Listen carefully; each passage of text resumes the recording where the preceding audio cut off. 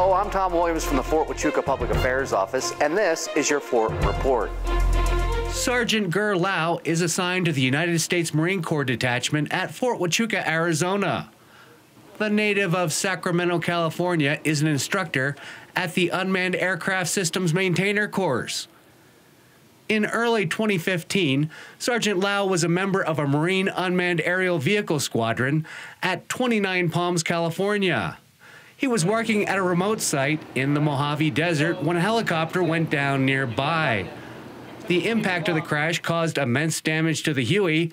Lao and fellow Marines ran to the scene. My instinct just kicked in, like all the training that I've I've I've done while I was in the Marine Corps just just switched and I just took action.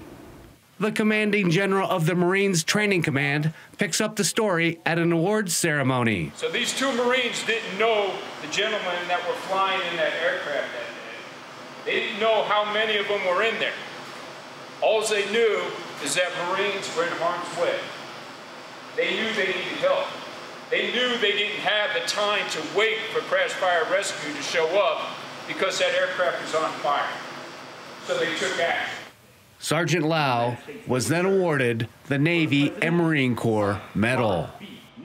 His, uh, his heroism on that day speaks volumes about what Marines are willing to do for each other and uh, what all servicemen are willing to do for each other whenever we're in harm's way, whether it's uh, you know deployed outside outside of our country or uh, within you know the confines of our own country on our own soil. Yeah, he's a wonderful Marine that I continue to look forward to working with. I definitely was surprised when uh, Major Hale told me that I will be given this award.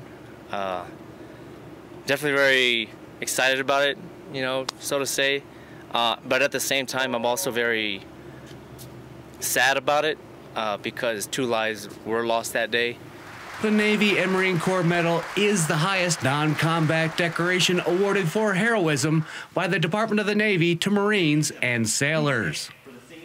That'll do it for this edition of the Fort Report. Have a great day.